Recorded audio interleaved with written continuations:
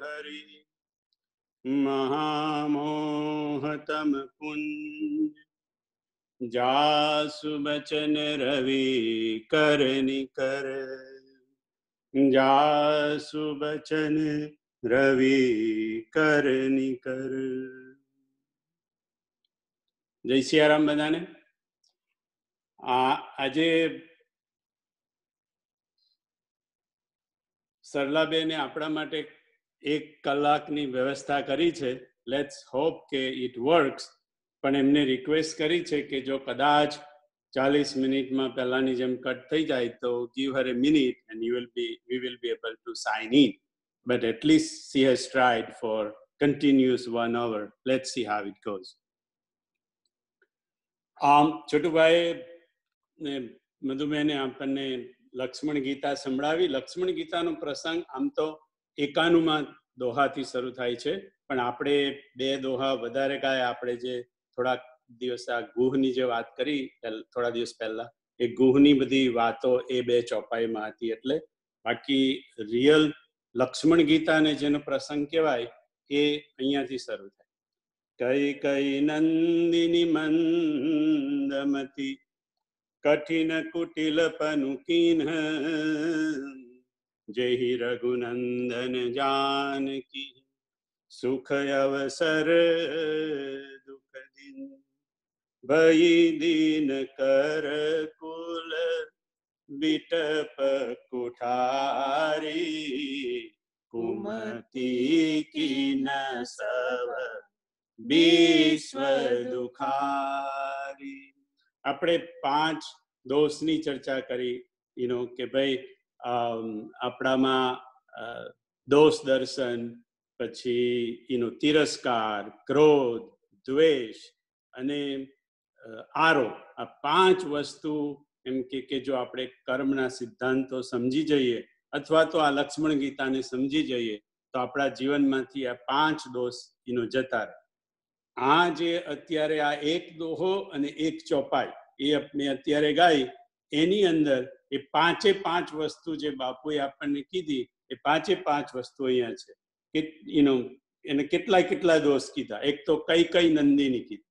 કઈ કઈ નંદીની થોડુંક તિરસ્કારથી કીધું. મેં તમને વાત કરી હતી ને, કઈ કઈ રાજાની, કે જે ગુ રાજાને ખબર હતી કે કઈ કઈ કઈ કઈ જે દેશનો રાજા હતો, એને મંત્રાને જાણી જોઈને મોકલેલી. એટલે અત્યારે એને એનો ગુહે જાણી જોઈને કઈ કઈ નંદીની શબ્દ બાપુ કે જે, પણ એ તો ભરત જેવા સંતની માં પણ હતી. રામ પણ એને માતા કહેતા હતા. દશરથ રાજાની ઘરેણી હતી, એનો પત્ની હતી.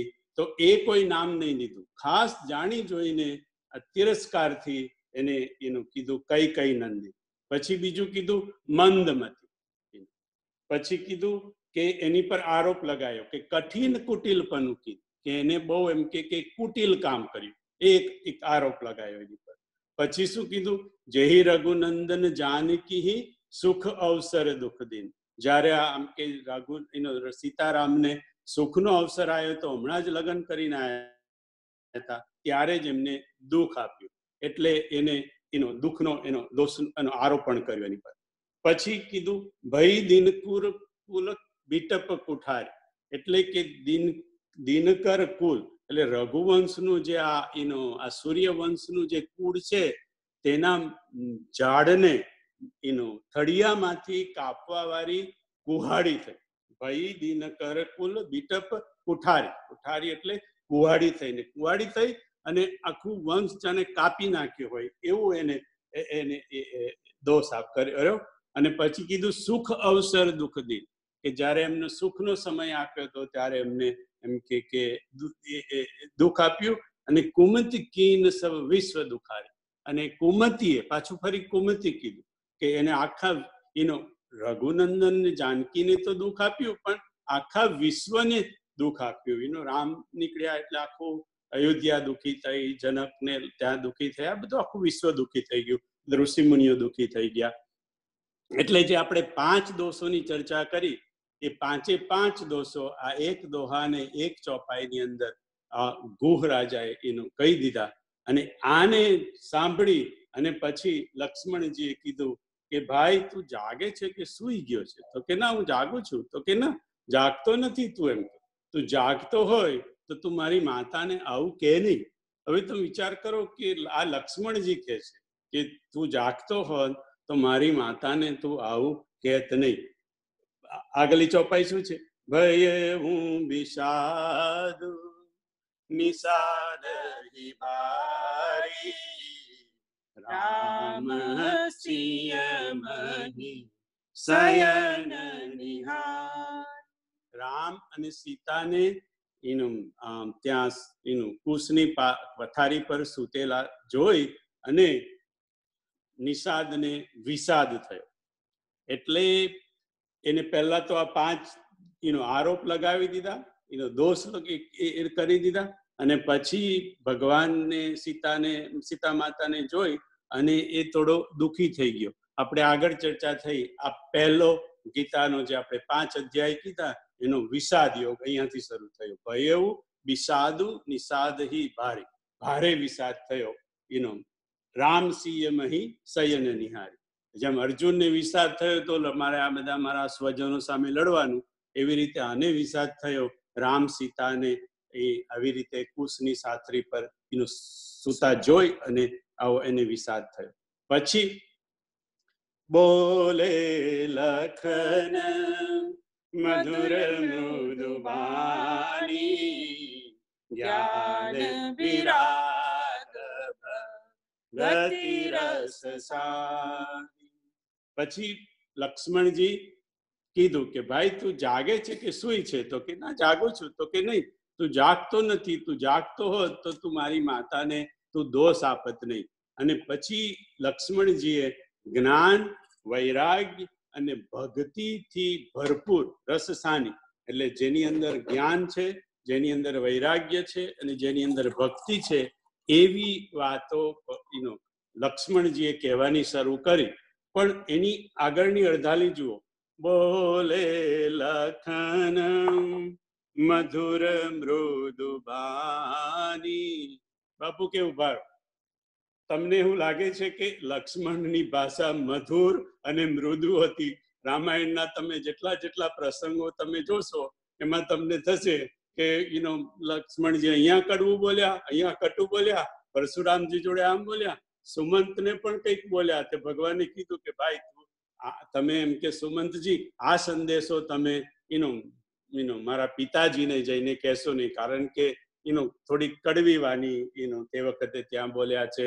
પછી સમુદ્રની આગળની ત્યાં વાત કર્યો ત્યાં જુઓ.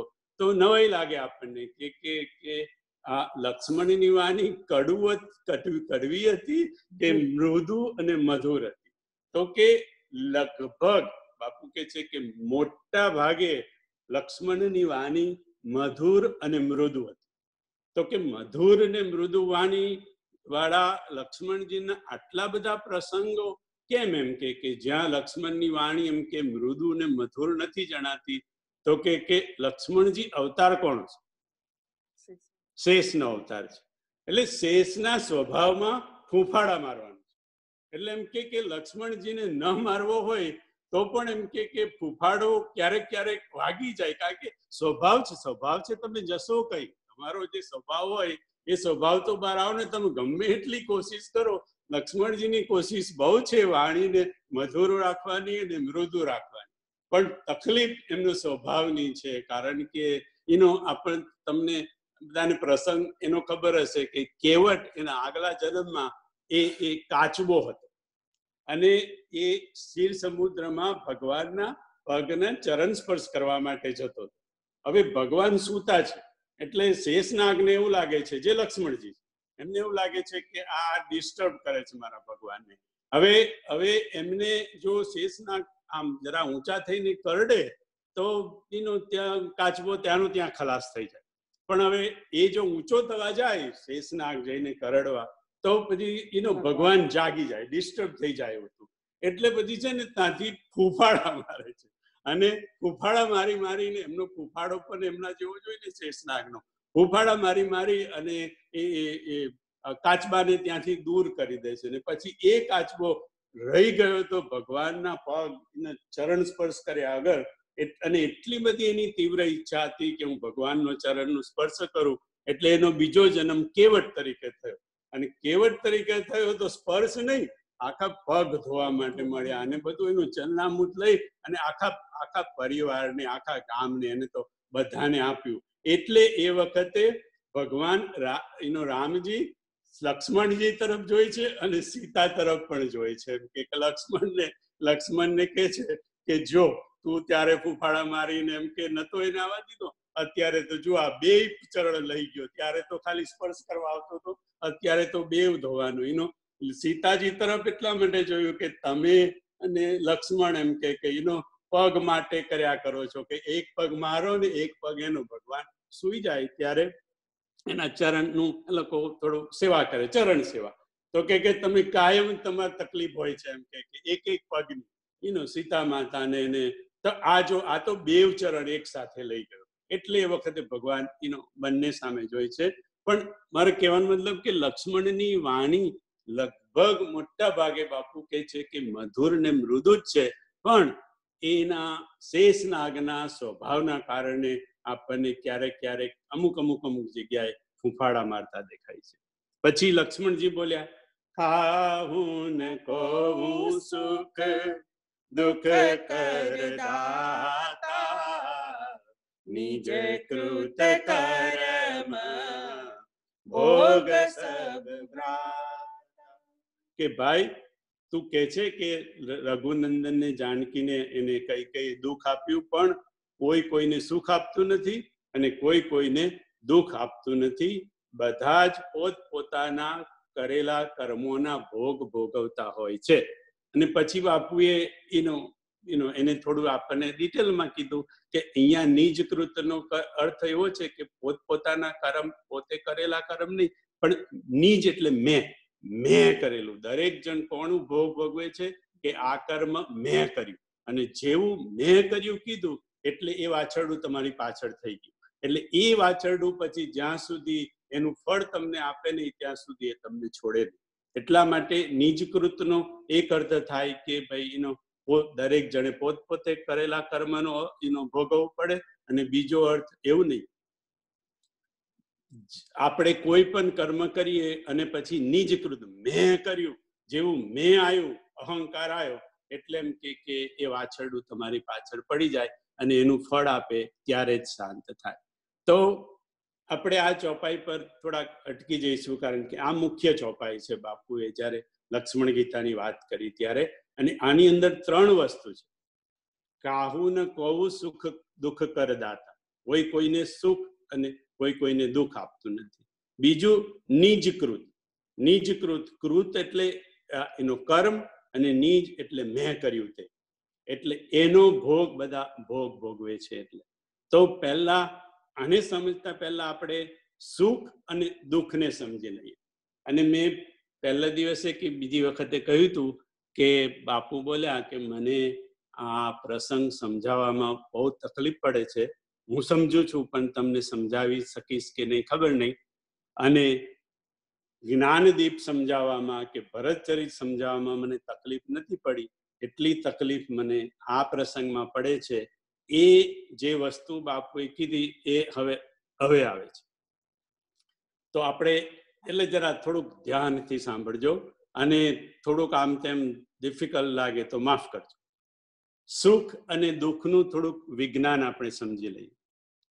સુખ અને દુઃખનો જન્મ થાય છે ઇન્દ્રિયો અને વિષયોનો સંઘર્ષ થાય ત્યારે, સંયોગ થાય ત્યારે ઇન્ટરેક્શન થાય ત્યારે. વિષય જોડે ઇન્દ્રિય ભેગી થાય, સંયોગ થાય ઇન્ટરેક્શન થાય, ત્યારે સુખ થાય કાં તો દુઃખ થાય. ગમતા વિષયો જોડે જ્યારે આપણી ઇન્દ્રિયોનો સંયોગ થાય, તો આપણને સુખ થાય. અને અણગમતા વિષયો જોડે એનો આપણી ઇન્દ્રિયોનો જ્યારે સંપર્ક થાય, ત્યારે આપણને દુઃખ થાય. તો પહેલા જોઈએ કે વિષયો કયા કયા? તો કે પાંચ વિષયો. શબ્દ, સ્પર્શ, રૂપ, રસ અને ગંધ. શબ્દ એટલે વર્ડ નોઈઝ સ્પર્શ એટલે ટચ રૂપ એટલે લુક રસ એટલે ટેસ્ટ અને ગંધ એટલે સ્મેલ શબ્દ, સ્પર્શ, રૂપ, રસ અને ગંધ આ પાંચ વિષયો. અને પાંચ જ્ઞાનેન્દ્રિયોને જ્યારે સ્પર્શ થાય ત્યારે એમાંથી સુખ દુઃખ ઉત્પન્ન થાય. એ પાંચ જ્ઞાનેન્દ્રિયો કઈ?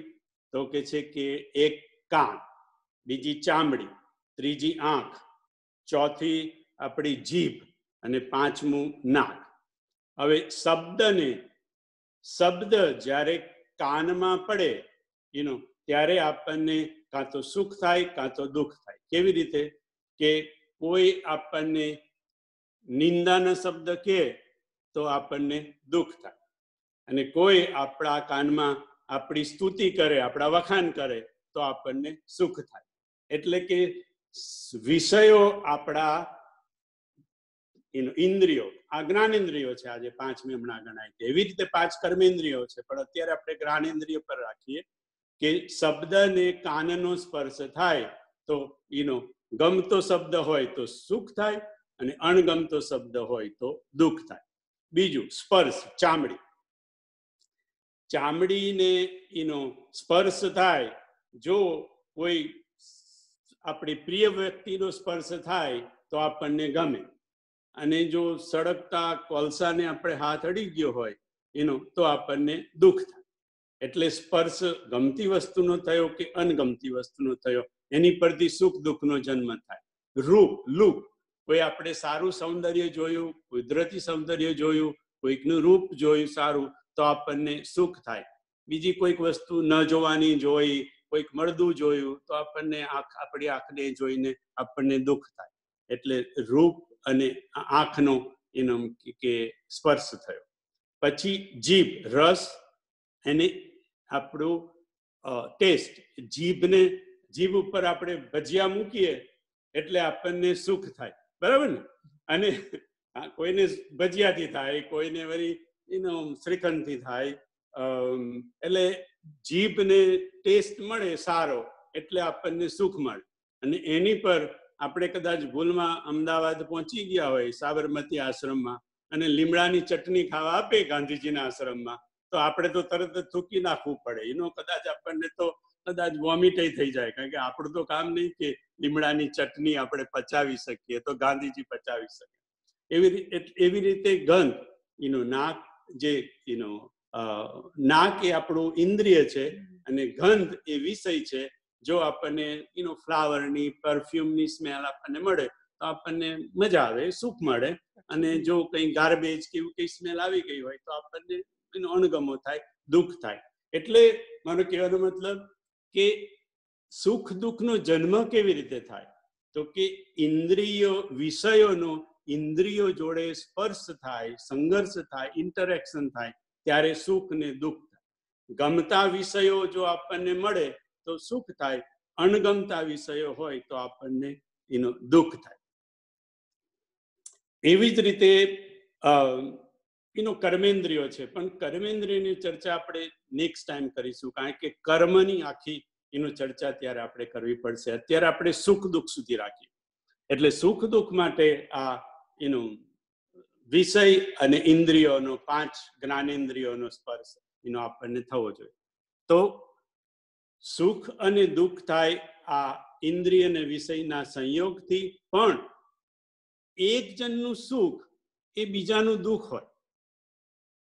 એકનું સુખ એ બીજાનું દુઃખ હોય અને બીજાનું દુઃખ એ કોઈક ત્રીજાનું સુખ હોય. કેવી રીતે? તો કે છે કે આપણે એનો ઉનાળાનો દિવસ હોય, નાઇન્ટી ફાઈવ ડિગ્રીનો ટેમ્પરેચર હોય અને આમ, ભાસ્કરને ઘરે આપણે ધારો કે સત્સંગ કરવા માટે ભેગા થયા હોય, તો હવે નાઇન્ટી ફાઈવ ડિગ્રી હોય, એટલે ભાસ્કર તો બરાબર ઠંડક રાખી દે, ફેન ફૂલ કરી દે, કારણ કે બધા આવશે તો પછી ગરમી બહુ થઈ જશે ને બાર નાઇન્ટી ફાઈવ ડિગ્રી છે એનો અને પછી ભાવનાબેનનો પ્રવેશ થાય, એટલે ભાવનાબેન કે ઓ માય ગોડ કેટલું સરસ લાગે છે કે ઓ અને પછી હું ને છોટુભાઈ જઈએ, એટલે અમે ધ્રુજ, ધ્રુજવા માટે એટલે મેં કે, ભાઈ, અમે તો ઠરી ગયા યાર. તો બધા માણસો ભેગા થશે તો પછી ગરમી થશે ને? એ તો ત્યારે થશે થશે તું ફેન તો એટલીસ્ટ બંધ કર. એટલે જે એક જણને સુખ મળ્યું, એ જ વાતાવરણમાં, પણ બીજા માણસને દુઃખ મળ્યું. એટલે આ સુખ દુઃખનું છે ને, એનું ઘણું બધું, એનું એવું નથી કે આ જ સુખ અને આ જ દુઃખ. આપણે લશ્કરની વાત કરીએ, આપણો પેલો, એનું નામ શું? અભિષેક કે અભિનંદન કે કઈ હતું એનો એ જ્યારે બધું ધમાલ કરી આવ્યો ને ત્યારે પછી આપણે મોટો સમારંભ રાખ્યો એનો એનો અને એટલા બધા એમ કે લોકોએ એને એમ કે એનો મોદી બોદી ને બધા એનું સ્વાગત કર્યું ને કેટલું કર્યું યુનો અને એ જ વખતે સો ફેમિલી યુનો પાકિસ્તાનની અંદર યુનો એ લોકો શોક કરતા. કારણ કે કે ભાઈ આ કેમ કર્યું? હતા કે આ પેલો આવીને બધી ધમાલ કરી ગયો યુનો અને એવી જ રીતે એમના માણસો કે યુનો યુનો સરહદને વટાવીને આપણા કેટલાને કરી ગયા, તો એમને ત્યાં એ લોકોનું અભિનંદન થતું હતું. આપણે ત્યાં એનો શોખ થતો એટલે કે એક જ ઘટના, એક જ ઘટનામાં એક જણને શોખ થાય, એક જણને સુખ થાય અને બીજી, બીજા જણને દુઃખ થાય. ત્રીજું કે સુખ અને દુઃખ બંને ક્ષણિક છે, ક્ષણિક થોડોક સમય માટે, એટલે એનું, એની એની એની જે ઉંમર છે ને, બહુ લાંબી નથી. કેવી રીતે? કે તમે ધારો કે એમ કે કે કોઈ આપણા વખાણ કર્યા. એનો એટલે આપણા એ કાનમાં ગયા. અને પછી આપણને એનો એનો એનો જ્યારે અનુભવ થયો, ત્યારે આપણને સુખ થયું અને કોઈ આપણી નિંદા કરી એટલે આપણને દુઃખ થયું. હવે એ શબ્દો જે હતા, એ શબ્દોની તો લિમિટ છે, મર્યાદા. એ તો એક મિનિટમાં, બે મિનિટમાં, પાંચ મિનિટમાં પતી ગયું. બીજો દાખલો લો કે તમે ભૂલથી તમે કોલસો ઉપાડી લીધો. કોલસો જાણે ઠરી ગયો છે, પણ અંદરથી હજી સળગે છે અને તમે ઉપાડી લીધો. અને ઉપાડ્યો એટલે તરત જ તમને એનો, એનું દાજુ એટલે દુઃખ થયું એનું પણ એ તો તમને, એનું થોડીક વારમાં તમે પાણી નાખો, લોટ નાખો, કઈ પણ મલમ, ચોપડો, થોડી વારમાં સારું થઈ જાય. વધારે દાજુ હોય તો બહુ તો અઠવાડિયું લાગે રાઈટ મેક્સિમમ પણ એની મર્યાદા તો ખરી ને, એટલે એને ક્ષણિક કીધું કે કોઈ પણ જે વિષય અને ઇન્દ્રિયો ભેગા થાય, એ કાયમ ભેગા ને ભેગા રહેતા નથી. એનો સંયોગ થાય ને પછી છૂટી જાય. એટલે સુખ ને દુઃખનો જે જન્મ થાય એ ટેમ્પરરી હોય. એની થોડીક મર્યાદા હોય. કોક મોવું તો એનો અઠવાડિયા સુધી ચાલે, પણ એથી વધારે નહીં. કારણ કે વિષય પણ નાશવંત છે અને ઇન્દ્રિયો પણ નાશવંત છે. એટલે બંને નાશવંત વસ્તુથી જે પેદા થાય એ કોઈ દિવસે શાશ્વત ન હોય શકે. એટલા માટે એને એને નાશવંત કીધું. પછી બીજું, આગળ કીધું કે, અને આ જરા તમે આની પર વિચાર કરજો, સાંભળી લો, પછી વિચાર કરજો. કે સુખ અને દુઃખ દરેકના જીવનમાં એક જ સરખું આવે. દુઃખ અને સુખ દરેકના જીવનમાં સરખું જ આવે. સરખું એટલે એનું જે માત્રા, એનું જે પ્રમાણ હોય ને, એ સરખું જ આવે બાપુ જેવી રીતે હિંચકો હોય, એ જેટલો આગળ જાય, એટલો જ પાછળ જાય. એક એક કરોડપતિને ત્યાંનું સુખ, એટલે કરોડપતિને મળેલું સુખ અને ભિખારીને મળેલું સુખ અને ભિખારીને મળેલું દુઃખ અને કરોડપતિને મળેલું દુઃખ, એની બંનેની માત્રા બિલકુલ સરખી. બિલકુલ જુદું ના. દરેક વ્યક્તિના, દરેક વ્યક્તિને પૈસા કેટલા મળશે, સંપત્તિ કેવી મળશે, વિદ્યા કેટલી મળશે, બાળકો કેવા હશે, એ બધું જુદું જુદું જુદું હોય. પણ એને જીવનમાં એના આખા જીવનમાં સુખ કેટલું મળશે અને દુઃખ કેટલું મળશે એ અને બીજાના જીવનમાં. એટલે આપણા બધા અત્યારે જેટલા આપણે સાંભળીએ છીએ, એટલા દરેક જણને ઇક્વલ સુખ છે અને ઇક્વલ દુઃખ છે. આપણને શું થાય કે grass is always greener on the other side એટલે આપણને શું થાય કે આપણા દુઃખ દેખાય અને બીજાના સુખ દેખાય. જો આપણે કોઈકને જોઈએ કે કોઈ બહુ મોટો પેલો હોય, માફી, ચલો માફિયાનો દાખલો લો. હવે એની પાસે એટલા બધા પૈસા હોય, નોકર ચાકર હોય ગન લઈને ફરતો હોય, કોઈ એનું એનું નામ ના લઈ શકતું હોય. એટલે આપણને તો એવું જ લાગે કે આ માણસ કેટલો એમ કે કે સુખી છે. પણ પછી એ સાહેબ ઘરે જાય ને, તો ના એની જોડે એનો છોકરો હોય, ના એની વહુ કારણ કે, કોઈ એની જોડે તક, તકતું ના હોય ત્યાં આગળ. એટલે એને જે એકાંતનું જે દુઃખ લાગે, એ તો એ જ જાણે. એ બહાર આવીને કઈ જાહેર ના કરે કે મને આટલું દુઃખ છે એટલું. તમે કોઈ પણ વ્યક્તિનો જીવનની અંદર બાપુ કે કોઈને પૂછવા જવાની જરૂર જ નહીં. હું તમને કહું કે એમ કે દરેક વ્યક્તિને રાજા હોય કે રંક હોય, એના જીવનમાં સુખ અને દુઃખ એકદમ સરખું હોય ભલે બધાની સંપત્તિ, બધાને એ બધું જુદું જુદું હોય એમ કે. પણ સુખનું પ્રમાણ અને જીવનમાં દુઃખનું પ્રમાણ એ એકદમ સરખું હોય. હા, ઘણો બધો સમય આપણા જીવનનો એવો હોય કે જે ઉદાસીન ભાવમાં છે. કે જ્યારે આપણે સુખી પણ ના હોઈએ અને જ્યારે આપણે દુઃખી પણ ના હોઈએ. આપણે સવારે જ્યારે ઉઠીને બ્રશ કરતા હોય નાતા હોય, ત્યારે કોઈક વાર મૂળમાં હોય તો સુખી પણ હોઈએ, પણ કોઈક વાર એમ કે એનું એ બધી વસ્તુ એ વખતે અમુક સમય તમારા જીવનનો એવો હોય કે જેની અંદર તમે તટસ્થ ભાવમાં હો તમે મધ્યસ્થ જેને કહેવાય. એટલે સુખ નહીં અને દુઃખ નહીં. તો અયોધ્યામાં પણ આવું થયું. અયોધ્યામાં પણ એનો લગભગ ભગવાન ચૌદ, સોળ વર્ષના હતા ત્યાં સુધી સુખની વર્ષા થઈ જન્મથી કે એમના લગ્ન સુધી નો અને પછી એટલું બધું સુખ આવી ગયું, એટલે ભગવાનને થયું કે ભાઈ, આ તો બરાબર ના કહેવાય, એમ કે જેટલું સુખ, એટલું જ દુઃખ હોવું જોઈએ. એટલા માટે પછી ચૌદ વર્ષ સુધી અયોધ્યા એકદમ દુઃખી રહી. એટલે જેટલું બધું સરવાળો બધો ભગવાનનો હતો, એ બધો પૂરો થઈ ગયો. હવે આપણને વિચાર થાય કે ઊભા રહો ઊભા રહો. કે ભાઈ ચૌદ વર્ષની વાત તો બરાબર, વનવાસની વાત બરાબર, પણ ભગવાન પાછા આવી ગયા. પછી તો એમ કે રામ રાજ્ય સ્થપાઈ ગયું. પછી તો તમે વર્ણન વાંચો તો ત્યાં દુઃખની કોઈ વ્યવસ્થા જ નથી. ત્યાં સુખ સુખ જ છે કેમ કે એનો રામ રાજ્ય વખત કીધું કે કાલ કર્મ સ્વભાવ ગુણ કૃત દુઃખ કાહુ હિ નાય. કોઈને પણ કાળ કર્મ સ્વભાવ અને ગુણના દુઃખ ત્યાં હતા જ નહીં. તો એવું કેમ? તો કે છે કે એ ક્યારે થયું? તો કે રામ રાજ્યમાં થયું.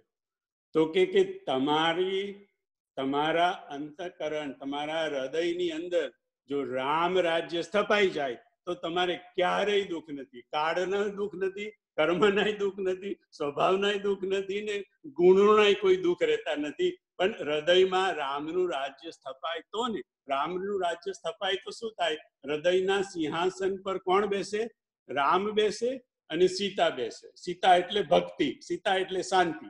હવે રામ બેસે ને સીતા બેસે એટલા માટે રામ રાજ્ય જ્યારે થઈ જાય, ત્યાર પછી એક કોઈ પણ રીતનું દુઃખ એનો અયોધ્યામાં જોવામાં આવતા નથી. એવી રીતે આપણા હૃદયમાં જો, પણ આપણા હૃદયના સિંહાસન પર પણ જો રામ અને સીતા બિરાજી જાય, તો આપણને ક્યારેય કાળ, કર્મ, સ્વભાવ, ગુણ કોઈ પણ જાતનું રામ રાજ્ય આવી જાય. પણ આપણે શું કે આપણે આપણી વાતોમાં તો ભગવાન બેસી જાય, પણ ખરેખર જે હૃદયમાં બેસવા જોઈએ એ એ બેસતા નથી. આ સત્સંગ એટલા માટેનો પ્રયત્ન છે. પણ મારું કહેવાનો મતલબ કે સુખ અને દુઃખ દરેકના જીવનની અંદર એકદમ સરખું આવે ઇક્વલ પ્રમાણમાં આવે. રાજા હોય કે રંગ હોય. હવે સુખ દુઃખને સમજવા માટે મેં આ પાંચ જ્ઞાનેન્દ્રિયોની વાત કરી. ગીતા એ હવે ગીતા તો દ્વાપરમાં આવી સાહેબ. એટલે એનો સતયુગમાં, એટલે પહેલાનું જે હશે, સતયુગમાં અને ત્રેતાયુગમાં પાંચ કર્મેન્દ્રિયો હતી, પાંચ જ્ઞાનેન્દ્રિયો હતી. આ છઠ્ઠી ઇન્દ્રિય એ ભગવાને ઉમેર કૃષ્ણ ભગવાને દ્વાપરમાં અર્જુનને ગીતા કહેતી વખતે કીધું ઉભારો ઉભારો. એમ કે પાંચ જ્ઞાનેન્દ્રિયો, પાંચ કર્મેન્દ્રિયો તો બરાબર છે, પણ એક છઠ્ઠી ઇન્દ્રિય છે. કઈ? મમે વાંસો જીવ લોકે, જીવભૂત સનાતન, મન ષષ્ઠાની ઇન્દ્રિયાની પ્રકૃતિ સ્થાને કરશતી મમે વાંસો જીવલોકે મારા અંશ, અંશરૂપી જીવો, જીવભૂત સનાતન. સનાતન જીવ એ એ એ પ્રકૃતિ સ્થાને યુનો મનસસ્થાની ઇન્દ્રિયાની. એટલે મન સહિત મન રૂપી છઠ્ઠી ઇન્દ્રિય સહિત પ્રકૃતિ સાથે એ એ સનાતન જીવ કાયમ ઘર્ષણ કર્યા કરતો હોય છે. એવું ભગવાન ગીતામાં અર્જુનને કહે છે. એટલે એનો મતલબ શું થયો? કે ભગવાને છઠ્ઠી ઇન્દ્રિય ઉમેરી. અને છઠ્ઠી ઇન્દ્રિય કઈ? તો કે મન. અને મન એટલા માટે ઉમેર્યું કે આપણા બધા જ સુખ દુઃખનું ભગવાન કે મૂળ કારણ તો મન છે મેં તમને હવે આપણે પાછ, પાછળ, આપણે થોડા પાછળ જઈએ, હમણાં ચર્ચા ગઈ કે આપણે આપણે કોઈ એનો પેલો કોલસો હાથમાં લીધો અને આપણને દાજ્યું, બરાબર? અને પછી થોડા વખતમાં, પાંચ, દસ મિનિટમાં કે બહુ બહુ તો અઠવાડિયામાં સારું થઈ ગયું. હવે એ જ વસ્તુને તમે જુદી રીતે લો કે એ કોલસો આપણને કોઈ કે દજાડ્યો હોય. તો શું થાત? ચામડીને તો એટલું જ દુઃખ થાત તે વખતે, બરાબર? મટી પણ જાત અઠવાડિયાની અંદર. પણ, અને ઇન્દ્રિય તો કઈ યાદ રાખવાની નથી. ચામડી તો યાદ રાખવાની નથી કે ભાઈ આને કોઈ મને આ કોલસો પણ આપણા મગજમાં, આપણા મનમાં યાદ રહી જાય. તે મને દજાડ્યું હવે એ જે તે મને દજાડ્યું હતું ને સાહેબ, એ તો ખબર નહીં ક્યારે જાય. એનો અને દજાડવાની વાત તો બરાબર પણ શબ્દની વાત પૂછો કે નિંદા, કોઈ તમને એનો તમારા બહુ જ વખાણ કર્યા, બરાબર? એનું વખાણ એટલે વખાણ જ કર્યા કર્યા. એક જ વખત સાહેબ તમારી નિંદા કરી, બરાબર? હવે એ તમે કે એને જે મને શબ્દ કીધો છે ને, તે તો હું મરી જઈશ ને, ત્યાં સુધી ભૂલો નહીં. અરે પણ જે જે શબ્દ જે હતો, આપણે એમને વાત કરી કે એના સ્પર્શથી થાય, એ સ્પર્શ તો એક મિનિટમાં જતો રહ્યો. રાઈટ? એ તો કઈ રહ્યો જ નથી. એ એ શબ્દ તમારા કાનમાં પડ્યો, પછી તમારા અંતકરણમાં ગયો. તમે સાંભળી પણ લીધો, જરા દુઃખ પણ થયું. પણ પછી જો તમે એને એને તમે તમે આ મનની અંદર ના રાખ્યું હોત ને સાહેબ, તો તમે આખી, બોલો આપણે નક્કી કરી દે કે એની જોડે તો હું આખી જિંદગી બોલું નહીં, કારણ કે એને જે મને શબ્દ સંભળાયો છે ને. પણ એને તો તને બીજા બહુ શબ્દ સંભળાયા, જેની અંદર તારા બહુ જ વખાણ કરેલા હતા. બોલો, એ એ બધા જ ફોક જેવું બોલ્યા એ બધા ફોક આપણું મન ને શું છે? એમણે કીધું કે સુખ ને દુઃખ ક્ષણિક છે. પણ આપણે કરીએ છીએ શું? કે સુખને સુખને આપણે ક્ષણિક જ રાખ્યું છે, પણ દુઃખની મર્યાદા આપણે લંબાવી દીધી છે. અને કોણે? આપણા મને લંબાવી બાકી સુખની પણ મર્યાદા છે અને દુઃખની પણ મર્યાદા છે. પણ આપણે દુઃખને કેવું કે દુઃખ મળ્યું એટલે ભૂલી ભૂલી ગયું. થોડી વારમાં આપણે ભૂલી, સુખ સુખ મળ્યું એટલે ભૂલી ગયા. પણ દુઃખને આપણે છે ને આમ આમ સાચવી સાચવીને રાખ્યા છે. ઘણી ઘણી, ખબર નહીં, આપણો સ્વભાવ એવો છે કે આપણે દુઃખને છોડવા જ નથી અને દુઃખને ગણવા છે. દુઃખને એનું એનું પુનરાવર્તન કરવું છે અને યાદ રાખવું છે. બાકી સુખ અને દુઃખ બંને નાશવંત છે. ક્ષણિક છે. થોડોક સમય ચાલે અને ઇન્દ્રિય અને વિષયથી જે ઉત્પન્ન થાય છે, મેં કીધું જન્મ એમાંથી થાય, એ તો બહુ ક્ષણિક, જરાક વાર થાય ને પતી જાય. પણ આપણા મનને, એટલે ભગવાને પછી કીધું કે સૌથી મોટી ઇન્દ્રિય અર્જુન, આ છઠ્ઠી ઇન્દ્રિય જે કહું છું ને, મન મન સંસ્થાની ઇન્દ્રિયાની મન રૂપી છઠ્ઠી ઇન્દ્રિય, એની જોડે પછી આ જીવ એ હંમેશા પ્રકૃતિની જોડે ઘર્ષણ કર્યા કરતો હોય છે. મમે વાંસો જીવલોકે જીવભૂત સનાતન મન સંસ્થાની ઇન્દ્રિયાની પ્રકૃતિ સ્થાની કરશતી આપણા સુખો દુઃખોનું કારણ મોસ્ટલી આપણું મન છે. આપણા આપણા જો સુખ અને દુઃખ આમ તો બધાના જીવનમાં સપ્રમાણમાં જ આવે, પણ સુખને આપણે તરત ભૂલી જઈએ અને દુઃખનો કોઈ પણ પ્રસંગ હોય એ આપણે આપણું મન એનો યાદ રાખે છે. એટલા માટે નરસિંહ મહેતા, નરસિંહ મહેતાના એક કે એક પદ, એક કે એક ભજન એ બધા જ વેદાંતથી ભરપૂર છે. જેને જેને નરસિંહ મહેતાને વાંચ્યા છે બધા જાણે કે એને ઠાંસી ઠાંસીને વેદાંત બધું એનો ભરેલું છે. એટલે એનો નરસિંહ મહેતાએ શું કીધું? સુખ, દુઃખ, મન, માન આનીએ ઘટ, સાથે રે, ઘડિયા ટાળ્યા કોઈના નવ ટળે રઘુનાથના જડિયા, આ જડેલા છે કોને? રઘુનાથના જડિયા. મેં તમને કીધું ને કે આપણા જીવનની અંદર એનો મોટા ભાગની વસ્તુ આપણે પાંચ વસ્તુ ગણાવી હતી. એનો કે ભાઈ નેવું ટકા બધી વસ્તુઓ બધી આપણા જીવનની નક્કી જ હોય. પહેલેથી જ નક્કી કરેલી હોય. અહીંયા નરસિંહ મહેતાએ શું કીધું? રઘુનાથના જડિયા. આ રઘુનાથે આપણે જ્યારે ઘડાયા હતા, ત્યારે જ જડેલા છે. જ્યારે આપણે આપણો ઘટ ઘડાયો હતો ત્યારે જ આ સુખ દુઃખ એની જોડે જોડાયેલા હવે જે આપણા ઘટના એ વખતે જ જોડાયેલા હોય, એને આપણા ઘટથી છૂટા કેવી રીતે પાડશું આપણે? એટલે બાપુએ કીધું કે એનો એક જ ઉપાય, કે એને તમે સહન કરી લો. સુખ દુઃખને સહન કરી લો. પણ કેવી રીતે? સુખ દુઃખ મન માન આની. એટલે ખેંચવાના.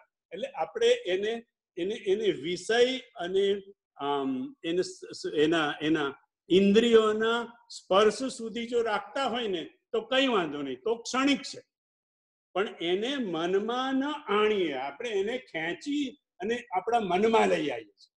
એટલે નરસિંહ મહેતાએ કીધું કે સુખ દુઃખને જ્યાં છે ત્યાં જ રહેવા દો. ક્યાં છે? તો કે જ્યાં ઇન્દ્રિયનો અને એનો વિષયનો સ્પર્શ થાય છે, ત્યાં સુખ ને દુઃખ છે.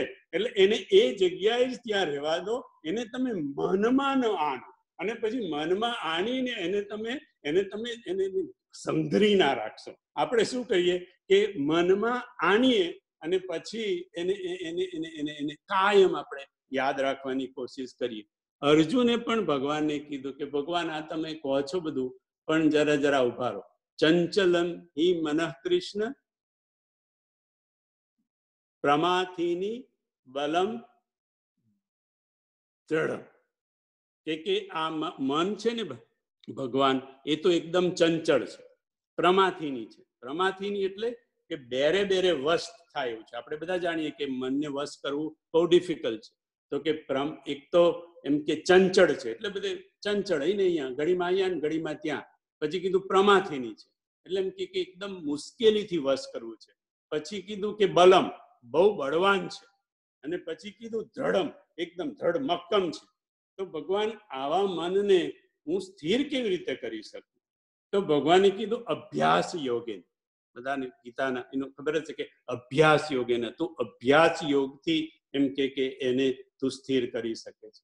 પછી તો ગીતામાં એની કંઈક વધારે ચર્ચા નથી, કારણ કે ગીતા તો બાપુએ કીધું કે આટલા બધા વેદો ને ઉપનિષદો ને બધાનો નિચોડ કરી અને ગીતાની અંદર મૂક્યો છે, એટલે ભગવાને કંઈ બહુ વધારે એક્સપ્લેન નથી કર્યું. મારો બેલ વાગી ગયો. પણ એટલે તો કીધું કે કે બાપુએ કીધું કે તું અભ્યાસ કર. તો કે અભ્યાસ શેનો? તો કે અભ્યાસ એ કરવાનો કે મનને જેટલે જગ્યાએ જવું હોય, ચંચળ છે ને, બધે જવું છે ને, એને જ્યાં જવું હોય ત્યાં જવા એને તું કોશિશ કરીશ નહીં. બાપુએ દાખલા આપ્યો કે વાઘને ને સિંહને પકડવો હોય તો ખાડો ખોદે, પછી એ અંદર પડે, દસ બાર ફૂટનો ખોદે. પછી વાઘ બહુ ફાંફા મારે. બહુ ફૂંફા, એનું નીકળ, બહાર નીકળવા માટે. પછી થાકી જાય ને, તો પછી શાંતિથી બેસી જાય. એવી રીતે મનને જ્યાં જવું હોય ને ત્યાં જવા દો. પણ મન ભલે તમે દ્રઢ કહો ભલે તમે એને બળવાન કહો પણ મન એકદમ કમજોર છે. કેવી રીતે? તો કે મનથી કશું થઈ શકતું નથી. અને મનથી જે થાય છે, તેની કોઈને અસર નથી થતી. તમારી પર વિચાર કરજો કે મનમાં તમે જે કંઈ કરો, કોઈનું પણ કાટલું કાઢી નાખો, કોઈનો માનસિક રીતે કોઈનો એ કરો, ગમે એટલું કરો, મનથી કશું થતું નથી. મનથી બધું મનમાં જ રહે.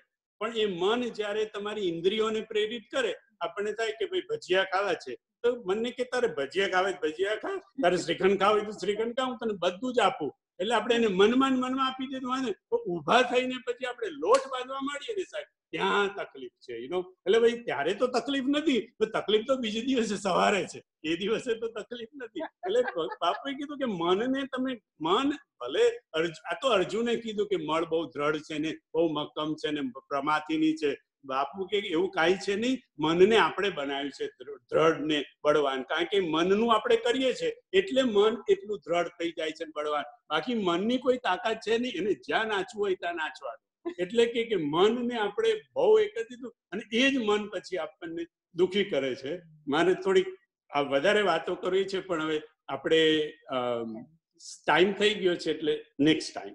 અને અત્યારે સરલાબેન બિપિનભાઈનું અનમ્યુટ કરજો. આપણે બિપિનભાઈ થોડા શબ્દો કહેશે આપણને. અને પછી નીતિન અને ભાવના